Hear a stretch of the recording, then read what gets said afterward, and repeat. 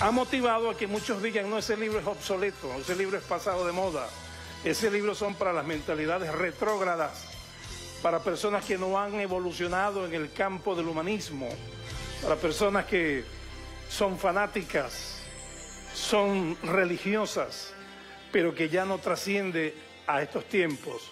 Miren, grandes legislaciones del mundo han tomado la Biblia como base de sus legislaciones. Y muchos pueblos han seguido los principios que están allí. Y precisamente el rey David dijo, lámpara es a mis pies tu palabra y lumbrera a mi camino. Lo que pasa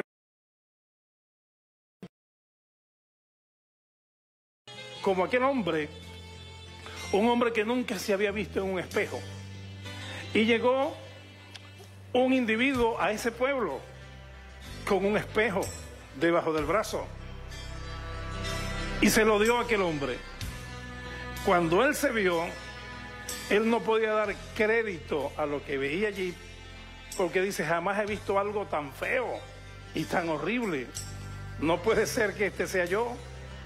Y se sintió mal, golpeó al dueño del espejo, se fue aparte, lanzó el espejo contra una roca, se volvió pedazo y él sintió una satisfacción, porque dijo, ya ese espejo no me va a decir lo que yo no quiero ver, no me va a mostrar lo que no quiero ver.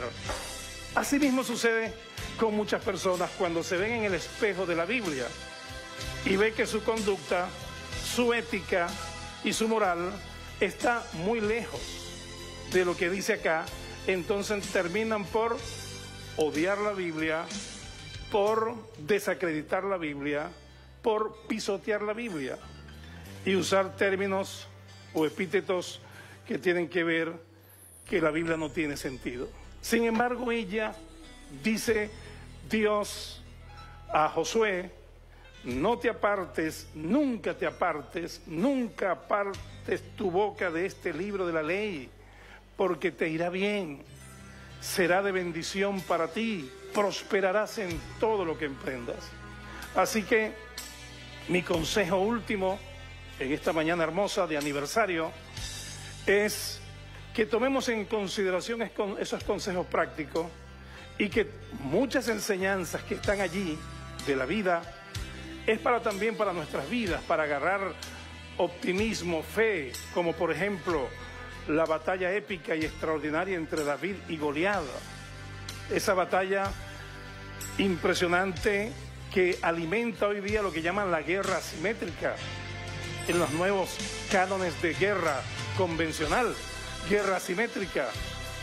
David el pequeño, Goliat el gigante, como un hombre experimentado en guerra y fuerza cayó, sucumbió ante un joven que ni siquiera estaba en el servicio militar. La diferencia es que aquel confió en su fuerza, en su poderío, en su orgullo, en su arrogancia, y este joven confió en Dios, en la fe que tenía en él, y sintió que Dios le iba a ayudar a vencer los obstáculos, a vencer las adversidades y le iba a dar la victoria. Por eso fue cuando vino el encuentro, David obtiene la victoria y esa enseñanza es para nosotros hoy. Si los problemas son inmensos, si son grandes, no sé cuál sea tu problema, no sé cuál sea tu situación en este momento.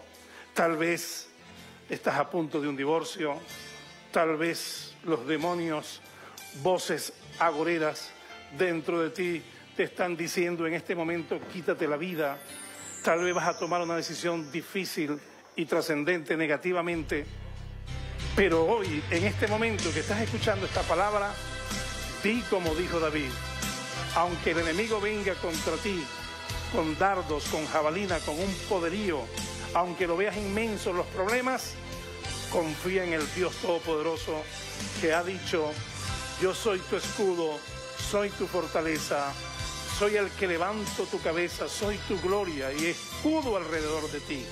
Y para concluir, quiero recitar parte del Salmo 121 que dice, alzaré mis ojos a los montes. ¿De dónde vendrá mi socorro? Mi socorro viene de Dios que hizo los cielos y la tierra. No dará tu pie al resbaladero, ni se dormirá el que te guarda. Dios te bendiga y Dios te guarde. Sabe, pastor, ahora, mientras lo escuchaba, esta mañana, antes de salir de, casa, pensaba en tres palabras que tienen que ver con lo que usted acaba de comentar ahorita. A ver, yo pensé en fe, pensé en la confianza y después pensé en la pasión. Tres palabras que si nosotros las aplicamos todos los días, todo lo que hagamos con esas tres palabras tendrá un éxito a fin de día. Y probablemente si uno lo manifiesta en semanas, que sería corto, mediano y largo plazo, se obtienen los resultados. Sí, señor. Y tengo aquí un, ya para concluir, tengo aquí una notica, precisamente. Mira este dato interesante, y con esto ya concluimos Venezuela. Fíjese, la Biblia tiene 31.103 versículos, 1.189 capítulos, 773.693 palabras. Tiene 3.536.844 letras. Wow. Y solo dos letras moverán la mano de Dios a tu favor, que es fe. Fe. La fe es la certeza de lo que se espera y la convicción de lo que no se ve. Dios te bendiga y Dios te guarde.